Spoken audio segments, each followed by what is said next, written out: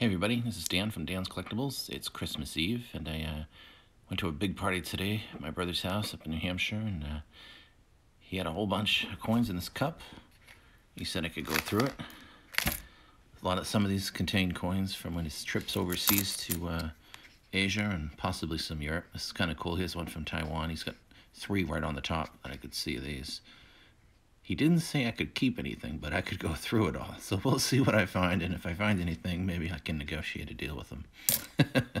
anyway, this is probably going to take a while to go through it. Don't know if I'll do it all tonight, but uh, I'll see what I can do, and I'll let you know when I go through it and show you the finds. All right, thanks.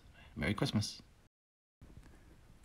Okay, so I went through that whole cup and didn't really find much.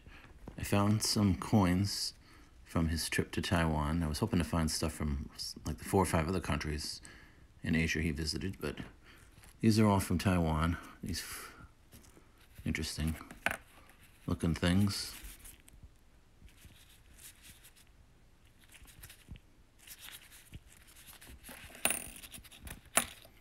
You know, kind of cool. These four are all the same. Interesting stuff. One Canadian. 87. A one euro, which is cool. I don't find a lot of euros, but he actually went to England and France and a few other places a couple years ago. Brought this back, not too bad. On a 57 Denver. Not in the best of shape. 46. That's a Philadelphia. That's not really... Oh, that's a Denver as well. Not too great either, but hey. And one Wheatie. 1956 Philadelphia. A big scratch on the front there. The back. All hacked up too.